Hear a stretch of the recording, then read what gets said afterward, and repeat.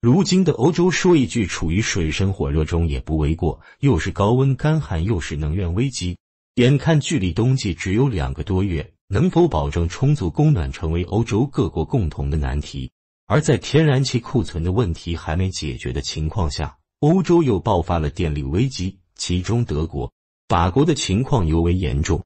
据了解，法国电价历史上首次突破一千欧元，与去年相比涨幅超过百分之一千。而德国的电价也没低到哪里去，已达到九百九十五欧元。德法电价纷纷刷新历史记录，英国的电价也一路水涨船高，短短三个月已飙涨将近五倍。而其他欧洲国家的电价也同样飙涨，电力危机已然爆发。说到底，这都是天然气短缺引起的连锁反应。没有天然气，欧洲就无法发电，就算重启煤炭产业，也不能立即补足用电缺口。同时，因为高温、干旱等情况，其水力发电已受到严重影响，清洁能源明显靠不上。所以，对欧洲来说，俄罗斯天然气依旧是唯一的解药。目前，荷兰已经要求停止继续对俄打压，并从俄方购进天然气，因为除了俄气外，荷兰已找不到价格合适且足量的天然气供应了。除了向俄罗斯低头，别无选择。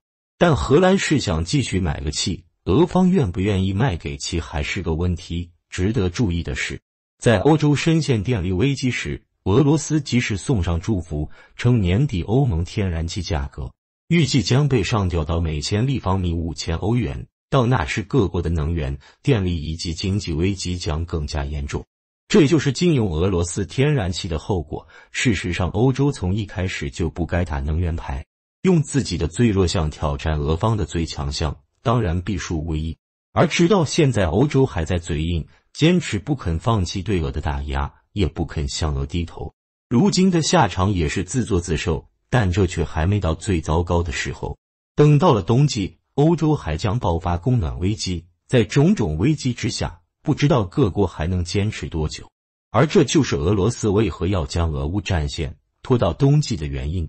冬季是乌军的寒冬，也是欧洲的寒冬。而俄罗斯坐拥大量能源，将比谁都有优势，所以欧洲是该像荷兰一样清醒了。除了请求俄罗斯供应天然气，已没有其他办法。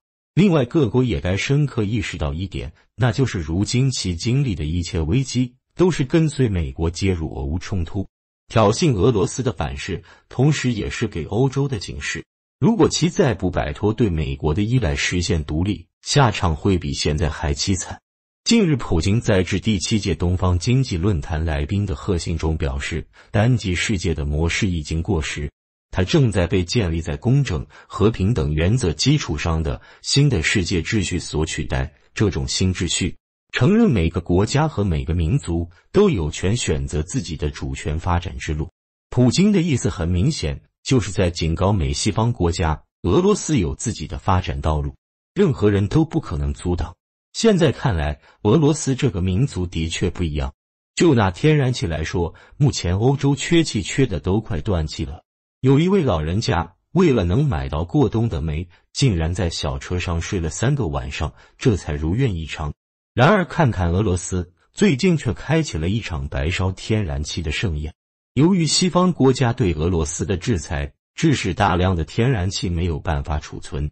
同时，俄罗斯也缺少这方面的技术，因此他们只能任由这些宝贵的天然气天天烧，白白的浪费能源，而且还严重污染空气。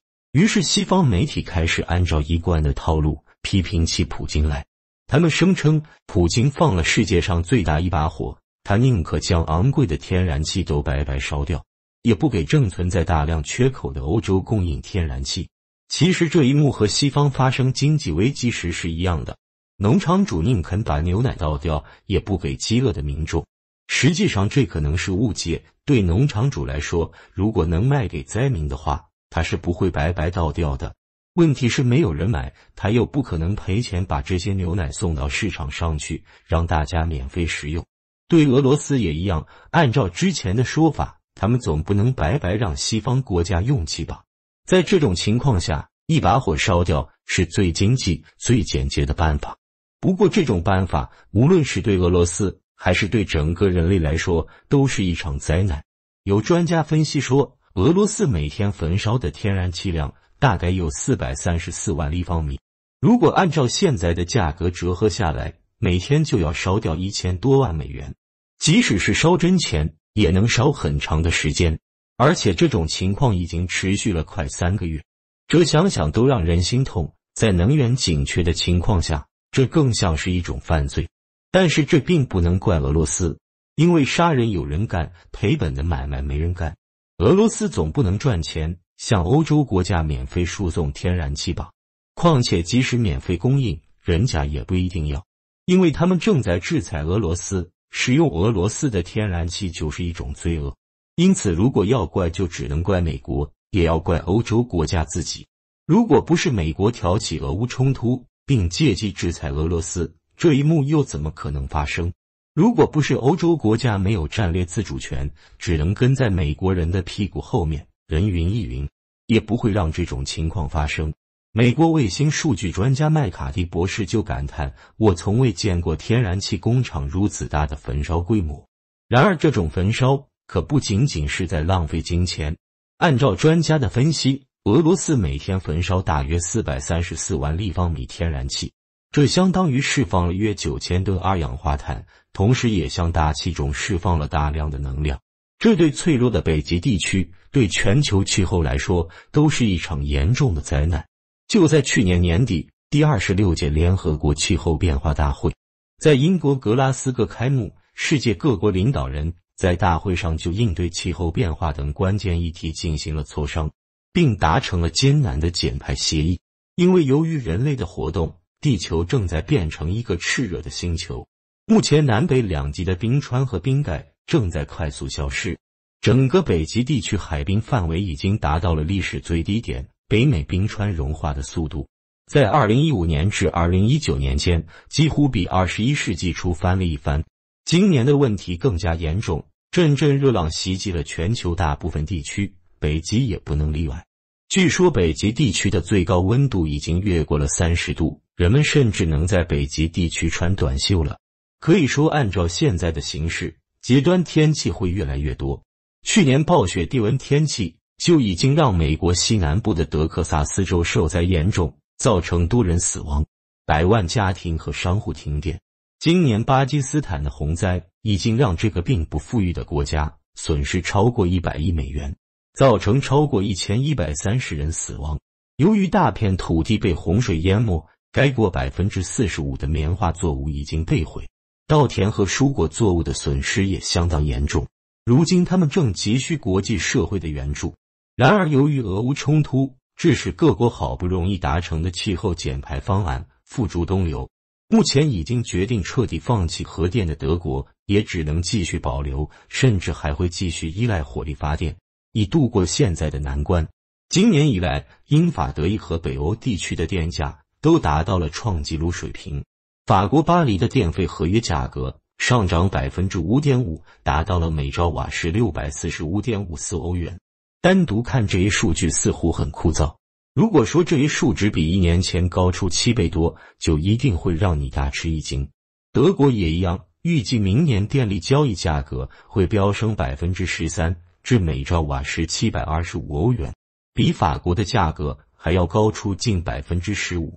造成这种情况的直接原因就是天然气价格的飙升。